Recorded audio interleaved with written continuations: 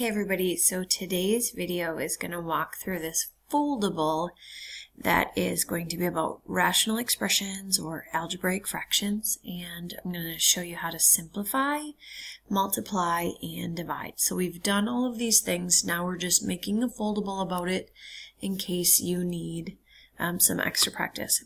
When you do this you can just fold it over and you'll notice that there's a line right here and so you can cut down there, hopefully more straight than I just drew. And you can cut right here, oh goodness. And that will make it the foldable so that you can open it and close it and see what's going on underneath. And then you can practice simplifying, multiplying, and dividing. So let's go to the inside. The very first thing that it's going to ask you to do is the simplify one.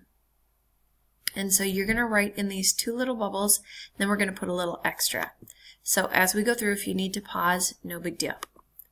So the first one, you factor everything first, which we've said over and over again. Now I'm just trying to put it in a new graphic for you. Factor everything. So if I look at this one right here, look, there's an example. And so as I factor that, I'm going to look at the top, and the top says 2x plus 18. So I have to think to myself, all right, is that a trinomial, first of all? And the answer is no, it's not a trinomial. So you don't um, draw the arrows as you do the way you factor the bottom. Up here, we're going to say it's not a trinomial, so therefore I'm going to look for a greatest common factor. Is there one? The answer is yes. And so therefore, this one, you, um, you're going to take the 2 out of both of those things. If you take the 2 out, what's left? x plus 9. So every time you're looking for a different context, which we're doing a sort in a different um, station, but this one right here, you we just need to get used to looking at that and saying, ah, okay, greatest common factor. That one just has a greatest common factor. Then on the bottom, this one is a trinomial, so I can pull it apart like this. X and x what does that get? Pause it if you don't see it yet, otherwise I'm going to spoil the fun. 2 and 9. So I get 2x, I get 9x. A quick thought, do you see how this is a minus? Because it's a minus, I know that to multiply I have to have a positive and a negative. Oop, that's a negative. And also, I, I know that if it's a positive or negative, this thing is super important. This means, do you see how it's a positive 7? That means the bigger number down low wins. So I'm going to say plus 9 minus 2. Plus 9 minus 2. So therefore, this down here breaks down into x minus 2, x plus 9. Okay, so step number one was factor everything, which we did. Now, then one of the things that it's not going to list on here because I don't know if this um, I somebody else made it and they didn't. After you factor everything, you always check the bottom um, for what x can't equal. And so if you're still struggling with that, I've made a different video to tell you how that. So I'm going to go through pretty quick here, but find another video, find a friend, find me, figure that out. Okay. So first thing you do is factor everything, then check for what the bottom, check the bottom for what x can't be. So I'm going to look down at the bottom and I'm looking right here.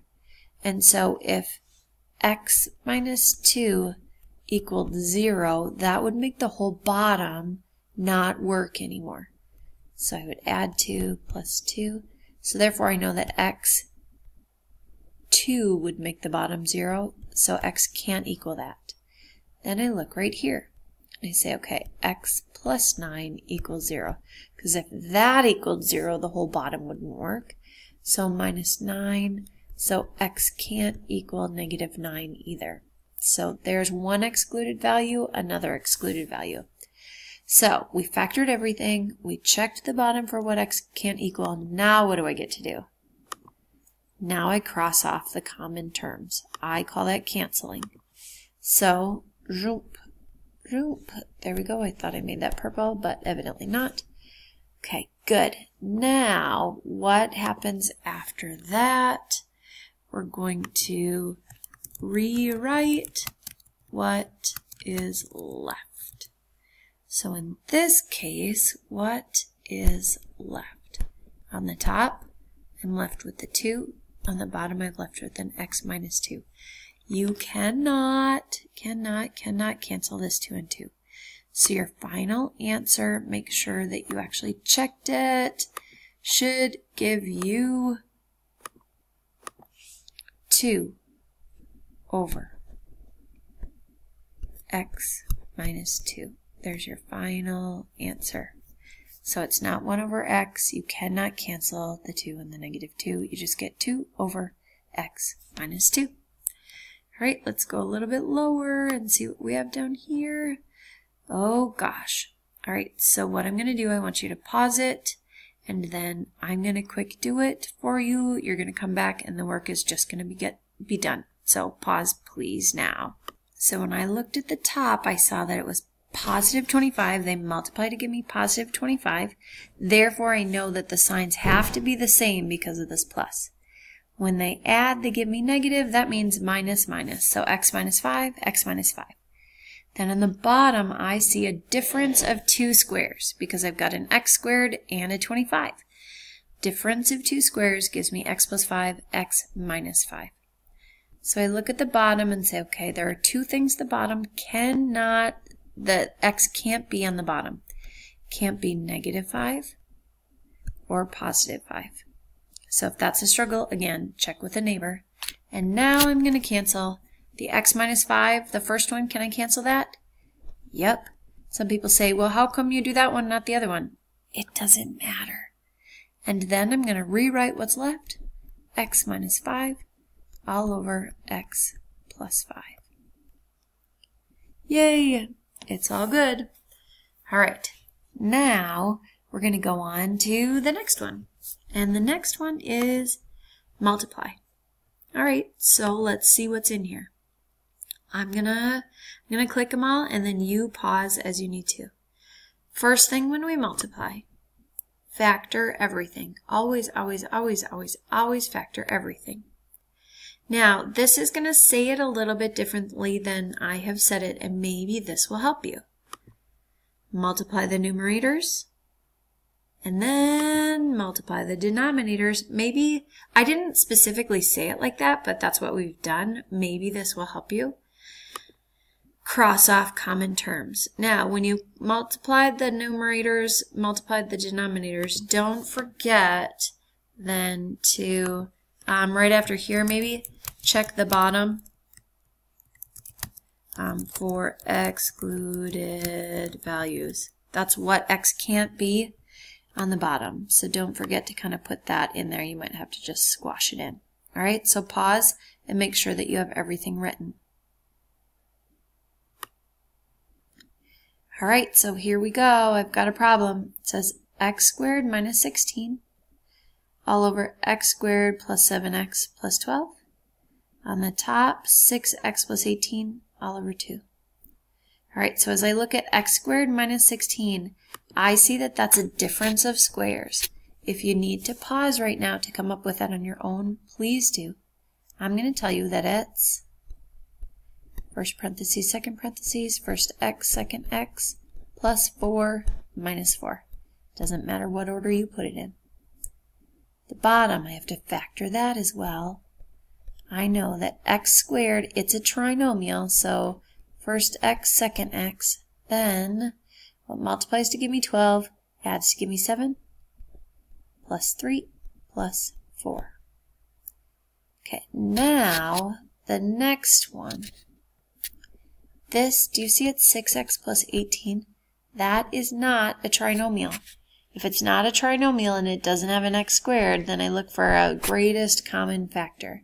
So I've got a greatest common factor of, you got it, 6. What's left?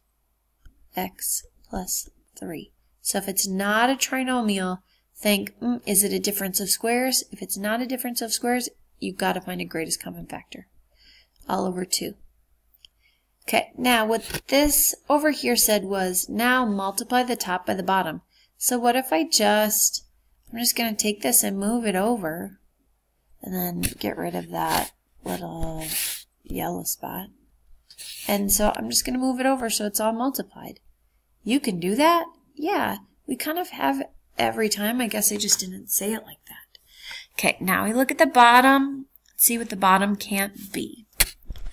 As I look at the bottom, I see that there's two excluded values. So I know that x can't be negative 3 and x can't be negative 4. Now we can cancel, cancel, cancel, cancel, cancel. And how about the 6 and the 2? Cancel to 3 over 1. So everything cancels on the bottom. On the top, I'm left with 3 times x minus 4. All right, the next one, I'm just to put the work in and you follow through the work because I want to make sure that we get a division problem done as well. So if you need to skip over this for a while, you can on this video. All right, so I factored this and then I'm going to cancel some stuff and then I moved, I squashed everything together. Now I'm going to look at the bottom and say that x can't be positive 5, can't be negative 3, can't be negative 7, and negative 3 again, but I already took care of that. Now I'm going to cancel. Can I cancel the 3x squared?